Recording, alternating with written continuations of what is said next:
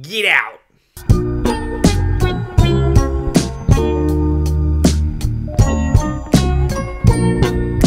A couple of weeks ago, a friend and I were discussing the Best Picture nominees. Hey, Andrea. And she asked me what I thought should win. Not will win, but should win. And I said, depends what you mean by should. The movie I liked the most? Three Billboards. The movie I thought was the best piece of filmmaking as a whole? Phantom Thread. The movie that's the most of the moment of 2017? Because we all know that's at least part of it, right? Yes, Moonlight just so happened to also be the best movie of last year, but I'm not saying the election definitely pushed Academy voters away from the, hey, let's remember the fun parts of the 1950s movie and towards the sensitive movie about a marginalized person enduring a difficult world. But I don't think it hurt. And the most of the moment movie of 2017 is clear it's Get Out. And I know you may be thinking, oh, but what about. Nope, it's Get Out. Oh, but the Me Too movement and a woman seeking justice for. Stop it. It's Get Out. Jordan Peele began development on Get Out in the early years of the Obama administration, and he began production on Get Out in the later years of the Obama administration. And this is important to note because many people, short sightedly, saw the election of America's first black president as the potential dawn of a post racial America. And Jordan Peele wrote Get Out as a direct refutation of this notion of what he calls the post racial lie. He wanted to say, yes, we have a black president, but let's not go patting ourselves in the back too much. So, how incredible that in the time between beginning production on Get Out and actually releasing Get Out in theaters, we, in a large sense, proved him right. You got your toothbrush? Check. Do you have your deodorant? Check. Do you have your cozy clothes? Got that. What? Do they know I'm black? Should they? You might wanna, you know. Mom and Dad, my black boyfriend will be coming up this weekend. I just don't want you to be shocked that he's a black man.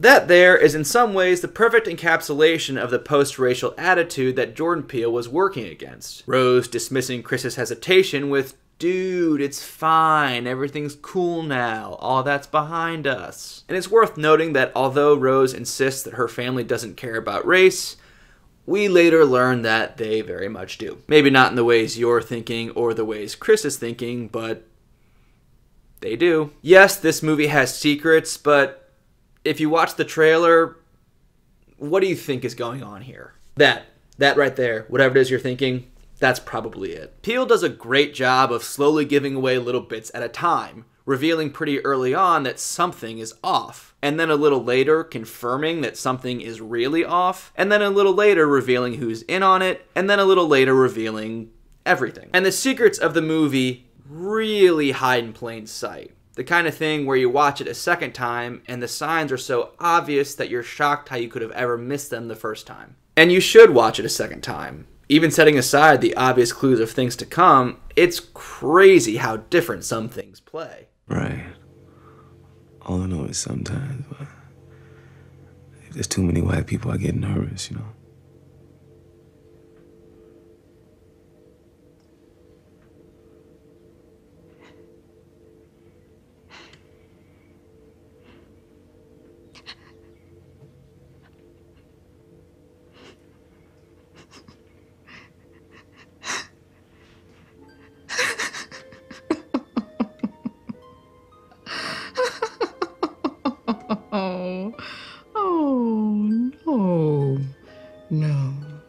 No, no, no, no, no, no, no, no, no, no, no, no, no, no.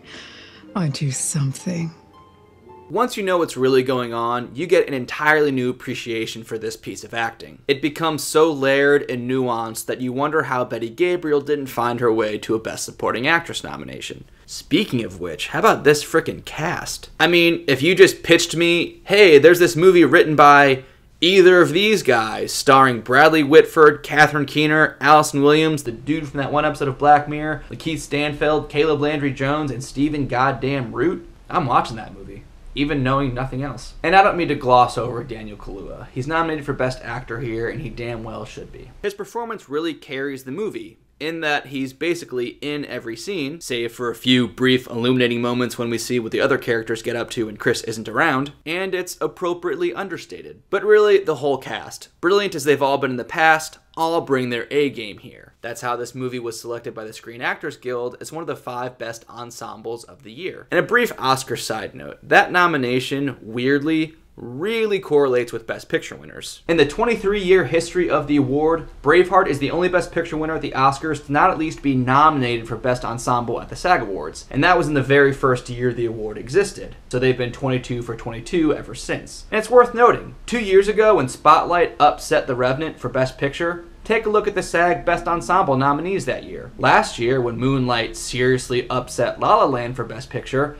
take a look at the SAG Best Ensemble nominees. In 2013, when people weren't sure if Best Picture would go to 12 Years a Slave or Gravity. In 2007, when people weren't sure if Best Picture would go to No Country for Old Men or There Will Be Blood. As of this writing, most people see Best Picture as a two horse race between The Shape of Water and Three Billboards Outside Ebbing, Missouri. Guess where my money is? And that's also incidentally why I think Get Out still has a chance. The performances are great, the directing's great, and Jordan Peele is just the fifth black person nominated for Best Director. But for me, the star of this show by far is the screenplay. Every Best Picture winner since The Artist six years ago also won a Screenplay Award. So, given what I said earlier, the smart money for Best Original Screenplay this year would be either Three Billboards or Shape of Water. But seriously, the Get Out screenplay is maddeningly good. Most of the reasons why I can't talk about, but let me give you a small non spoiler example. The decision to make Chris a smoker. Not only does it add another layer of difficulty to an already difficult situation for our protagonist, he's outside his comfort zone in an unfamiliar place, trying to impress his girlfriend's parents, and he has nicotine cravings to deal with on top of that. Not only does it cleverly solve a narrative problem by giving Rose's therapist mother a pretense for trying to hypnotize Chris, which we learn is a key plot point. Do you smoke in front of my daughter? I'm gonna quit. She'd take care of that for you. How? Hypnosis. I'm good, actually. But when Rose's parents chastise Chris about his smoking, as expected, if I may use another example of something that plays out differently the second time you watch it, hot damn is their chastising loaded. I mean, every time I think about Jordan Peele making Chris a smoker, I just go down this rabbit hole of all these interesting things that that one choice gives you. For example, if I may speak vaguely to the people who have seen the movie, do you think Rose is dating Chris in spite of or because of his smoking. Small little flourishes like that are littered throughout, including giving Chris an interesting backstory with his mother that both adds theme and provides a reasonable explanation for some of the dumb things that people in horror movies always do. Peele even wrote a character that's a direct love letter to the black audiences that yell at the screen when people in horror movies do their dumb things. There's an element to this movie that uh, uh, fulfills the representation that stereotypically black horror movie audience uh, needs out of their horror movie, which is like, you know, get out the house. Why are you still there? Call the cops. You know, I wanted to make a movie where that audience is satisfied. I can't talk about a lot of the smart choices or the implications of those smart choices, but as you're watching, keep a few things in mind. Race, obviously, but also like historical racism, uh, agency, and microaggressions. If you don't know what a microaggression is, then pay careful attention to literally every interaction Chris has at this party, save for one, because those are it. Such a privilege to be able to experience another person's culture. And if you know what a microaggression is but think it's a made up snowflake term, then you also watch every interaction that Chris has at this party and try to tell me with a straight face that these interactions aren't at least a little true. Whether it be the assumption that Chris would like Tiger Woods, or an old lady feeling his bicep without asking, tacitly suggesting an ownership of sorts over his body. Jordan Peele said he wanted to get away from this idea that racism has to be this big, hyperbolic, hateful thing which is more often than not how it's portrayed in movies. Related side note, if you want some really good observations about how race and racism are portrayed in movies, check out Lindsay Ellis's video on Bright, worth every second of its wow, 45 minute runtime. And I imagine Lindsay Ellis is a big fan of Get Out, not only opting for realistic microaggressions over outdated overt stuff, but also portraying racism as perpetrated not necessarily by individual bad people, but by societal systems and institutions. Can't really elaborate without giving away the game, but. Oh, there it is.